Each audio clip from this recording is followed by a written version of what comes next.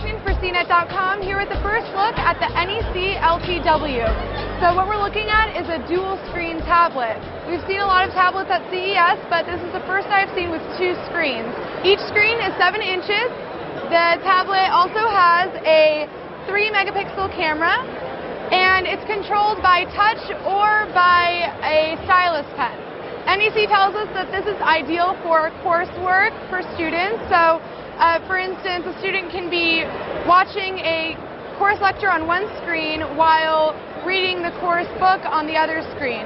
The LTW is also great for information gathering because you can actually have a browser on one screen and Google Maps on the other or even two browsers on each screen. Because it runs Android, you have access to the app marketplace and one of the ones I like on this tablet is the ZeptoPad. It's, it's like a scrapbook. You can search a Google map here, crop it, and drag it over to this screen. And you can also take notes. The LTW will launch in February or March in Japan for about $500, but NEC hasn't told us when it'll be available in the US. They said it depends on what the demand looks like in Japan. For CNET.com, Vaknin.